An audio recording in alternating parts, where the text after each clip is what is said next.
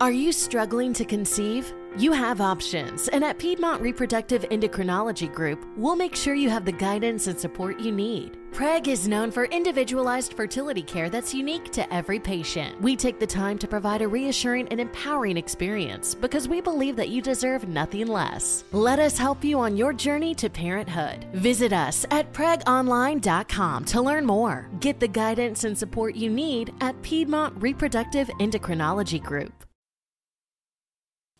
You know, sometimes they say you spread yourself a little too thin. When you got so many plans coming up, so many ideas that you want to do, and then there's a little trouble where you have a lack of funds, or either the lack of equipment, or then there's times where the ideas just don't come to you. And then you know you're on the verge of a burnout where you try and attempt to keep working, but then there comes a part where it doesn't help you.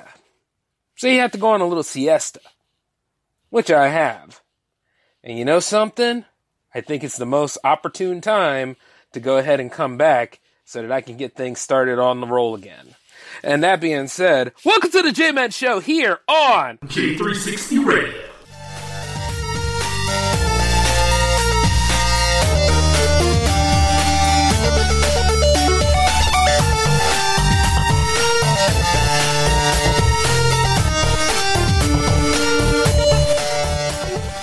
Between aging and busy lifestyles, many women struggle with maintaining their physical and mental wellness. At Aquavita Concierge Healthcare Services for Women, we can help you revitalize your health and reclaim your life. We start from within by balancing your hormones, allowing your body to achieve and maintain desired weight goals. We also specialize in peptide therapies, regenerative medicine, sexual health, and aesthetics in our state of the art facilities. Feel better, look better, live better at Aquavita. Visit aquavitality.com and begin your journey today. Hey, J360 Legion, how is it going? This is the J Man just checking in to see how you all are doing, and welcome to episode 104. Ha ha ha!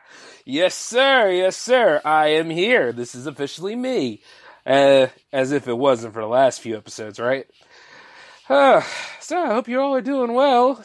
Don't worry, you don't have to pinch yourself. I'm actually here. Yeah, I'm sorry. It's been kind of off and on lately here at J360 Radio, but like I said in the cold open, you know, sometimes you just need a break from it all. And I don't like doing that because see the problem is when you take a break, then you have to get back into the flow of doing things. Then you have to go ahead and you know, you have to find your way. You have to have your niche and then you keep on working on the stuff. And, and I mean, that's part of the process. It happens like what um, Ron Swanson, you know, the living legend from Parks and Rec said, you know, don't half-ass so many things. All ass one thing. Because, you know, Leslie Knope didn't have an idea, and she always was holding on to that that great idea, but it just didn't come to her. Little did she realize the answer was she needed to take a damn break. And well, so did I. I mean, like I have great ideas and I write them down all the time, but you know, when you have that energy, and your energy is not with you that day, that's the perfect time to prop your feet up. And you see, I should feel that way about algebra, but that teacher will not give me a break, and I'm not trying to get any extensions from her. This is my time to make it count. So, you know, that's something I can't take too many breaks from. It'll happen sometime, but not all the time. And speaking of which, part of that break allowed me to um, really look into what made me want to be a filmmaker and a content creator in the first place. You know, originally I wanted to do lots and lots of films. Now, the thing about doing lots of films are films take so much work, especially if it's live action. Live action alone will just keep you keep you constantly busy. I mean, you're on set for like, you know, 12 to 16 hours a day depending on how big the process is and if it's in your region or depending on what group you're you're in. I mean, let alone all the process of, but the work is well paying. And, you know, while it's hard in some areas, it's worth it in the end. You know, and, and we all know it's hard. Hell, writing is hard. Hell, all this other stuff. I want you all to understand this. If you're in the J360 Legion, which you are if you have been paying attention to this show consistently, the thing about it is, take hard out of your vocabulary. It's difficult, it's tedious, it can be tiresome, but if it was meant to be easy, everybody would be doing it. And see, the problem was when we had the digital revolution happen and YouTube came along into our lives, and became pretty much a part of our everyday speech, along with live streaming, Twitter, and Google in general, along with Facebook, Facebook this, Facebook that, and everybody saying terms of service. You see, we don't really know what's high caliber and what isn't caliber anymore because we go through so much stuff on the daily. We get thrown so many things so often that, you know, it's either our attention spans go down or it's just nothing ever really surprises us anymore. And like, we'll take a look at some of the movies from the past, even though those movies from the past are considered trendsetters and something of the genre, but in their time, they were just considered just movies. You know? Some people to this day are still killing themselves trying to write that perfect screenplay, which allegedly, according to some sources, is Chinatown. You know what I'm saying? Yes, the Jack Nicholson movie of the same vehicle that I'm talking about. They say that that quintessentially is the perfect screenplay. And we all know that ended on a Gainax ending. Like, there was no resolution to the end of it. Everything was for nothing. It was a shaggy dog story. Now I can go back and forth with you all about like what's so hard about writing, and the terms are probably going to be varied depending on who I interview or bring in for this show. But the truth is, is just at the end of the day, like I tell you all, write it. But see, for me, I wanted to be involved in animation too. I wanted to work on creating cartoons, giving you guys something, you know, interested in the art form of animation, kind of like uh, one of my idols back in the day, Ralph Bakshi, used to do. You know what I'm saying? His stuff wasn't kiddie. I mean, some of it was, but not all of it. His stuff told you a story. Like you could get a great graphic story out of anything from what Ralph Bakshi did. You know, and I'm not just talking Fritz the Cat you know, but I'm talking like wizards. I'm talking um, fire and ice. Uh, you know, he did Lord of the Rings, one of the first uh, adaptations of Lord of the Rings back in the 70s. We only got a part one out of the deal, but I just love the detail and the crafting of what he did, and it's a shame that we never got a part two. Uh, that's something you can go ahead and look at Warner Brothers about. They didn't just start micromanaging with DC characters. Oh no, they've been a force to reckon with at one time or still are, depending on which franchise you talk about. They've been doing okay with the Godzilla franchise, though. For now. but yeah, I always wanted to work on animation, so I took the time to actually look at some of the stuff in my library because I have an extensive animation collection. From our brothers over there across the pond in the east to plenty here in the west, which is why, like, when people go into flame wars over who's got the better set, Western or Eastern animation, I just look at them and I'm like, you know what? This would be the perfect time to go ahead and make them all destroy each other because at the end of the day, it's an art form shared by a lot of us. If you really don't think so, you should check out some called Nudnik, which I should put at the bottom of this. He's a silent character and nothing ever goes right for him, but you know, you feel for him a little bit until you realize how surreal his world is. And yeah, yeah, Nudnik's good, and then you got Gustav from um God, he's from I think he's from Austria, Hungary, but he's like a everyman character that's a caricature of things that go wrong in society. Kind of like how this show is from time to time. But you see, I started spending a lot more time with the uh uh it's uh, it's hard to pronounce his name, but I know the other person's name. I, I want to say Pate Fielding, Pate Fielding. You know, Fritz Fielding after he was um working for Warner Brothers. You know what I mean? When they got rid of the animation studio for Warner Brothers, he partnered up with another producer named Patetti. Uh, God, I gotta get. You know what? I'll work on pronouncing his name. but you know, with Patetti, and they created a whole series of cartoons, such as the most famous being the Pink Panther. And you see, I got like four volumes of the Pink Panther, but I'm missing one. So I got to keep an eye on that one, or just go ahead and buy a box set. And when that happens, uh, I'm gonna try to sell these other ones. But you see, other than his character, there were plenty of other ones too, like the Inspector, based off of Inspector Clouseau. Uh, then there's um, there's uh, also Hoot Kloot. Let's see, uh, Crazy Legs Crane, the Tijuana Toads, which spun off Crazy Legs Crane, and then of course also spun off um, the Blue Racer, which was the story about a snake that always went after a Japanese beetle a stereotypical Japanese beetle at that, but stereotypes have always been in animation. It's just it's a framework that we all have to live with. And you see, at the end of the day, those I could go on the whole soapbox and tell you how wrong racism was, but you all know this. You all know this. but sometimes you just look at the stereotype and you're like, you know what? Some of it is a little funny. Because you guys, I don't know about you, but you see at my day job, I see people that talk exactly like that damn Japanese beetle. And it's like, what the hell is wrong with me? And I, and I just can't help it sometimes. I got to go to the corner and, you know, snicker a little. But that's only because it's in reference to the cartoon. And now that I explained that joke, I feel a lot more like an a hole than usual. But going back into it though, like there's also the dog father, and then there's Mr. Jaw. Yeah, yeah, y'all can go with that which way you want to. But Mr. Jaw was an interesting cartoon to say the least. And as I watch each and every single, you know, each and every single cartoon, you know, I see like what they have worked hard on, the stuff that they try to talk about, and and the design of the characters. But as I notice, like when I go from no Hoot Kloot, did I mention Hoot Kloot's a good one too. But as I mentioned it, you can see which cartoons were actually theatrical cartoons before they became made for television. Because when you see something that are made for television, kind of like when you look at Aladdin and then Return of Jafar, you see the quality's kind of kind of sucks. Like from time to time, you look at it, you're like, yeah, this one you were using acrylics to get the job done, but on the other one you were using watercolors, cheap watercolors at that, maybe even chalk. And I, know, I know, but keep in mind this. Keep in mind this. It's not always the, it's not always the technique you use. It's the story of what you're trying to tell that should strengthen it. And when you got something on TV, you got to keep the budget, you know, stable so you can go ahead and put that content out there. So as I look at each and every single one, I, I, can see from the topics of the day to all the stuff that they were making fun of, the dialogue and underlying factors. We need something like that now.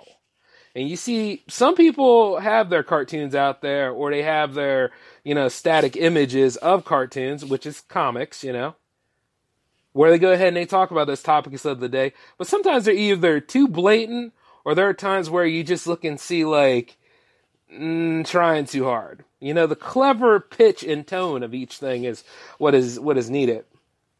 So as I sit back and I look at them, I'm like, this this is funny. Like sometimes it could be immoral, but the situation that each and every single character goes through is funny as hell. That is until you get to uh, Mr. Jaw. Now you see, the Crazy Legs Crane and Mr. Jaw animations, they were, well, they had different music and they had, um, oh my god, I almost forgot Ant and but we'll get to that later. Uh, you see, when you look at Crazy Legs Crane and Mr. Jaw, the way they're designed, you can tell that these these were made for TV. And you can see that some of the stuff, even though it's the same lineup of you know, material. Some of them start to become rehashes. Then the music kind of kills the flow of the show.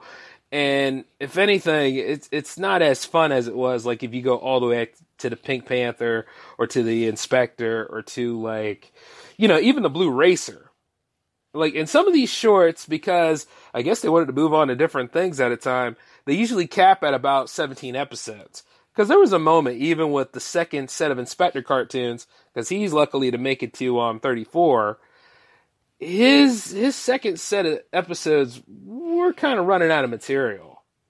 You know, at that point, that's when you realize your stuff becomes more formalistic. But as I look at this stuff, it, it keeps me more inspired. It warms me up into going ahead and doing something better.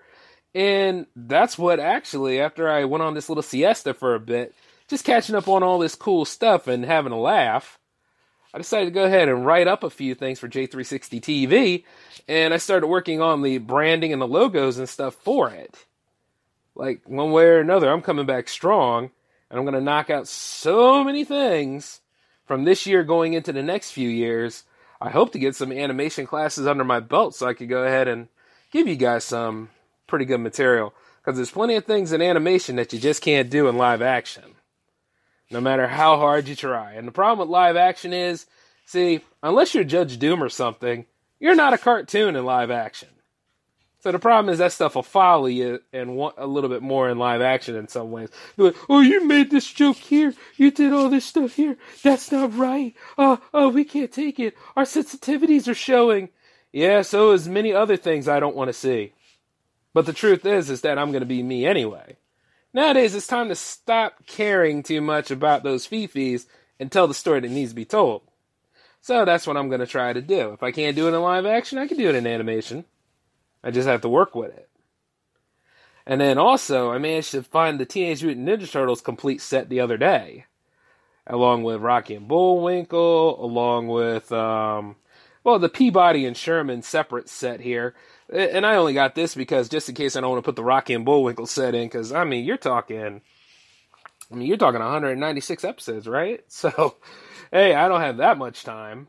But, you know, when I watch those things, sometimes the best time to watch them is at night because like you get to see the colors pop in a way you know it, it, feels pretty interesting that pretty much is the animated radio show like the limited animation alone actually helps that kind of show. And i seen that they uh, rebooted rocky and bullwinkle too for uh, amazon prime. I don't know if it's funny or not but what what what counts as humor nowadays you know? Because i mean when you go for real biting humor kind of like how Eddie Murphy Raw is, unless you're in that group, and even then it's iffy, people are so sensitive now, they'll just try to chew you out for no reason on it. And it's like, well, maybe there has to be some true to form because you are butthurt as hell. That's what I always say. But, as I will mansplain, you know, I, and then I see like I have my Love Hina collection here. I still need to get three more season sets of Dragon Ball Z. Yeah, fillers and all, folks. I, I just want to get them because you know why? Because if I explain the filler instead of just showpiecing some of the filler, you know, then you won't know what the hell I'm talking about. And some of those things that they've taken out when it came to like the uh what was it, Dragon Ball Z Kyrie releases, they were kind of okay. Believe it or not, I'll probably make another episode where I talk about some anime fillers that I actually liked. And no, not the Garlic Jr. saga. Even though Gohan was Gohan held his own in that, you know, it, it was somewhat of a good sequel to Dead Zone. It, it, it was just something about it I didn't really care for. But you know, we live and learn, right? So, also, also, there is a dime piece I need to get there is a certain anime series I need to uh, look into getting. And it is one of my hidden favorites. I love watching a lot of the episodes online when I could. Fist of the North Star. That has to come to the house. Because I managed to get Outlaw Star that one day, and that was on a luck and a draw, because I went to FIE, FYE the other day. and I saw it sitting there, man. And I was like, you know what? Yoink! Because I got it for 20 bucks. I just had to. It, it, it's a part of my growth, man. And I, and I, love the series and the adventures of Gene Starwind. You know, the space pilot that had a hard time flying in space because of issues. And this time I can watch it without seeing a whole bunch of commercial breaks and other stuff cutting things out. And the same thing with the Tenchi Muyo series, at least the OVA. Because when that came out for 13 episodes, I was like, mm, yeah, I got to get all these. And the same thing goes for Tenchi Universe, but see, I don't have that one, so that's that's on the list. So that's just little things like that, and um, one way or another, I'm gonna get um, I'm gonna look into getting Yu Yu Hakusho first, and then I'm gonna go ahead and get Sailor Moon. And before you all ask, I'm gonna tell you why. That theme song alone will make you want to buy the damn series and watch it. And Sailor Moon's okay. It can be a little com- comedic and formalistic from time to time, but it's still a good series. And I mean, the same can be said about any of these magical power characters and stuff from time to time. You know, they get their asses kicked, or they get talked down, or they go through the heroic uh, blue screen of death, and then they need like a few episodes to get back together and jump back into the fight. It happened to me earlier. You know, as I kept saying, yeah, we're going to get episode 104 ready. We're going to get episode 104 ready. And it's like, you know, I was pushing for it the whole way along, but I could tell when I was running low on stuff because you know why? It just wasn't me. And that's how you know. But when I got that new TV to go ahead and build the retro station, which has all my old retro consoles on it, I need to bring over the Xbox 360 and hook it up too. Because I miss playing Halo. Which, by the way, for those of you that have Xbox One, uh, keep an eye out in a couple of months. I might be coming to visit. The thing is, is this. As this whole thing is set up, it's going to be a part of J360 TV. I won't tell you what show because I've probably given it away in other episodes and I'm tired of repeating myself.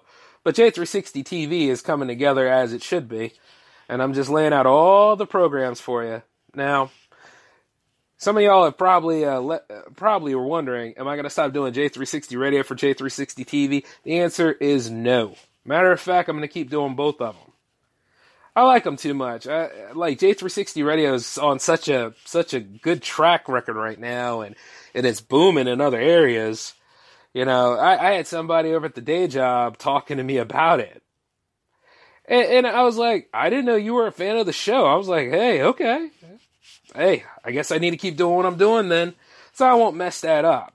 So still have J360 radio, you'll have J360 TV. Now, how I will counterbalance these things, you'll find that out in a in a different way. Uh, for those of you on the Facebook, I will be using the Facebook group more as a trial, so we'll see how this all turns out. If you like it, cool. If you don't like it, well, it means I got to go back to the drawing board. You just can't let stuff get to you. Which is interesting to me because some people let too much get to them, yet they still make money and then they still act like they're entitled and people owe them something whenever they get caught up in some hypocr- uh, hypocritical bull. To which I talked about in a mini bite. Man, you know, and but but you know what? I'll be honest with you all. It's good that there are other content creators out there like that. You know why? Because it lets me know of who I shouldn't become. I don't need to be somebody like that. That's somebody with a problem. That's somebody that needs some help. That's somebody that should not have gotten involved with certain people in the first place. So, you know what I'm saying? The beautiful part about that is I don't even have to worry about it. So I'll just stick to being me, being humble, and working with other people out there. For those of you that wanted me to guest star on your shows, I mean, like I said, use the email or hit me up on the J360 hotline. Or here's the thing uh, for film redemptions, why don't you guys drop me a line sometime? After all, I'm open to anything, even that, uh, well, I don't know. See, because that Twilight SBS is not, not really my forte, but I can endure it. We'll call it an endurance round or something. you know what I'm saying? Uh, but then again, I, I haven't seen those movies in years. Have they gotten better with age? Probably not. But I could say the same thing about Fifty Shades of Grey, maybe. Because from what I heard, the first one was brilliant, but the second two were just, the other two were just, they could not stick the landing with those films. I wonder if that's like the books at all. Probably not. Probably not. Ah, by the way, I heard Avengers Endgame is going back to the movies. There's going to be additional uh, post scenes, I think, or some sort of things that you probably didn't see, either because you went ahead and bought a big gulp before you went to the premiere, or you just found another way to just try to sneak out so you can somehow miss important stuff in the movie. See, with me myself, I bought a drink, yeah, but here's the thing: I didn't drink it. I sat right there and I watched the whole movie because I just didn't want to miss anything. And that's just three hours of dealing with, you know, a lot of story and a lot of subplots to tie up, at least for this phase. And while I'm gonna miss Iron Man, the thing is, is this: I hope there's not an alternative ending where it just messes up that ending. Because if there is, then all of these memes and all of these appreciations and atonements that a lot of us true fans out there, and I really shouldn't say true fans because you, you know, but then again, real fans probably wouldn't care as much because it's time to move on to Spider Man time. But what I'm saying is, because if you are a part of the fandom, it doesn't matter. You're still a fan in some recollection. But you see, a lot of people didn't want uh, didn't want Robert Downey Jr. to stop playing Iron Man. That's why their butt hurt. You know what I'm saying? And he's done a great job with it. But it's time for him to hang it up. To which he did, and he could rest. So let the character rest just in the books, he's still alive. I mean, pick up a comic book, go read it. I, he's still being Iron Man, and he's still doing what he does. You never know. This is where the source material the character is, so you can enjoy him on that level anytime you want to. It's the same thing I feel about Captain America, even with Secret Invasion. Or not Secret Invasion, Secret Empire. Secret Empire. Secret Invasion was that one with the scrolls. Yeah, yeah, see? I know my comics too. Which at the same time, you know, I should get some more. But, but, but, but. The thing is, though, this whole thing is really about money. And it's really about Kevin Feige wanting to break the Avatar record. You know Avatar, right? Avatar is one of those, it's supposed to be part of a movie series that somehow, one way or another, that sequel probably won't come out until 2022. And the thing is, at that point, will we still be waiting for it? Because the first Avatar was good, yes, but the problem is it's all owned by Disney now. And Disney's not looking to push that yet because guess what? There's still a whole wealth of things in Star Wars to talk about. But then you realize, right, that this company pretty much owns everything. So the worst part of it all is it could be a power struggle or it could be, you know, one of those things that will be shelved until an undefinite point in time, like the New Mutants movie, which at the same time is a waste of everyone's time because we all kind of want to see this. And you know, like, you would consider that since Disney did not turn their back on this franchise, because there's a whole area called Pandora over there on their Disney parks. So it's like, you know what, at the end of the day, why don't you just go ahead and push this movie, at least the sequel, let it be two good films? I mean, like, were they really a uh, pinnacle of great films? I think the technology was interesting, and the story was pretty much Pocahontas' story. So, to me, not really, but I love the way it was in terms of aesthetics. However, however, that's something y'all are going to have to deal with on your own. Because me, myself, I make pieces with these kind of things. It's just like when that Hellboy movie came out, you know? It, it was supposed to be the bigger, darker, edgier reboot, right? And it was supposed to fire off all cylinders. Everything looked great. But as soon as you sat there and experienced it, it was nowhere near as good as, you know, Ron Perlman's uh, stink as, um, as Hellboy. Matter of fact, it was a far cry. And I wanted to like this film. Because finally, one of my favorite superheroes is coming back, and it seemed like they're not deviating from the source material that much and giving something, you know, pretty pretty interesting. But not only did they deviate, they also marinated in it. There was a whole lot of problems going on in that. It's just it, it's sickening and I was thinking this, maybe if it was like the uh, anchor film, like how the other one was, because the other one, you know, the first one was more of a slow success. Like, I think the other one came out in August, right? Like, it didn't come out around March time, did it? Well, if I'm wrong, I'm wrong, but I like to think that it came out in August and it slowly but surely made its money to where it was enough interest for the second one. Now, the second one, however, I thought the second one was funny. I, I enjoyed the second one for its fantastic elements. And, uh, you know, other people just didn't like it that way, or they just saw like nothing was going to be resolved from it, and it didn't go as well as it should have. Even though I kind of wanted to see what the kids looked like, because Liz was pregnant, right? So, and then it turned out it wasn't one, but it was two. And then they said he's going to bring about Armageddon, which we all know that Hellboy is prone to do that it is in his destiny, but he also has a choice, which is what makes his conviction even more, or his struggle, even more likable. Nothing wrong with it. And sometimes, you know, now that I think about it, I don't mind too much of something deviating from the source material, but not to the point where it's unrecognizable or it's just a movie with the name painted on it, kind of like uh, 2003's Hulk and, you know, 1998's uh, Godzilla. Those are just completely different movies in a way. And if you look at uh, 2003's Hulk, man, uh, yeah, the Shrek means still hold a place on it because God, he he he was more passive aggressive in that movie than just Rage Monster. Whereas he was Rage Monster in 2008, but nobody liked that movie as much as they, you know, as you want to think that they did.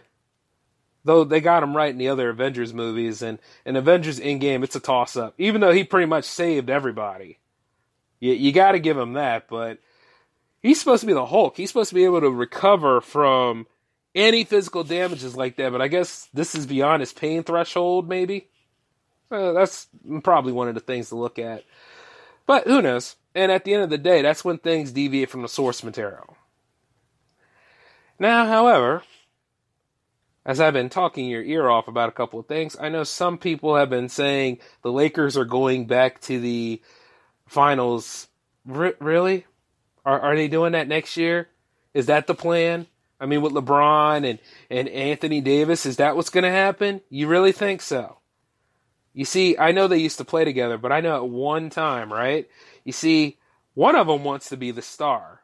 And I think nine times out of ten, it's probably going to be Bron Bron. But you see, Bron wants to look into other avenues anyway, and maybe Anthony Davis could probably be the star of the team. Maybe. But I don't see that happening with this. Like I said before, it's cool that they're making big moves. It's cool that things are coming together to a point. But right now, it's just talk. There's nothing concrete. I want to see some contendership. But for me, myself, I would say it'd probably be either the Blazers or it'd probably be the Houston Rockets if they just get that ego crap under control to be the next ones up in there. Because, you know, I don't think the Warriors are really going to keep everybody. That's just me saying that. I mean, I'm being honest. But you, you got to think that for a little bit. Some something about this is weird. But that's just me myself saying it. However, I want to see my boys on the Sixers get their acts together and do what they got to do, and hopefully, hopefully, we'll be in contendership so we can finally get that fourth, you know, get that fourth ring. You know what I'm saying? We've only managed to have two with the Sixers name, and we only and we got that one when we were the Syracuse, uh, or we were the Syracuse Nationals. Or was it Warriors? One of the two. But you know, using my sports history here, throwing a little noggin over there. Uh, I got to see what the Eagles are going to be doing too, because it's going to be that time. I get the feeling this summer is going to pass by pretty quick, so I got to make sure that I get ready for that. Because I cyclone is definitely going on J360 TV, so that's a little spoiler for y'all. And since uh, since we went into my little in-game talk, it's almost Spider-Man time, and I wish Sony wouldn't tease us as much, or Kevin Feige. No, this is Kevin Feige's statement about like you know Venom and Spider Man are going to cross over at some point. Okay, fine, whatever you say. Just build up towards it, and let's see where we go from here. I'm interested in seeing what those X Men plans are going to be, but I also hope that uh, hey, if Galactus is coming, you know, to be the overall villain for the next phase that might actually be some good. But chances are it's probably going to deal with the Eternals, most likely. You know, little issues like that. But other than that, though, I've already talked to you off enough for one episode. So I'm going to leave it with this, guys. It was good to be here and do the show for you all again. I know now that it's, uh, I pro- I won't take off so long as much. You know, one day, who knows? But if you don't get an episode, chances are I'll be back and we'll pick it up and we'll do what needs to be done for the new slate, right? Right. But until then, this is the J Man signing off. Peace.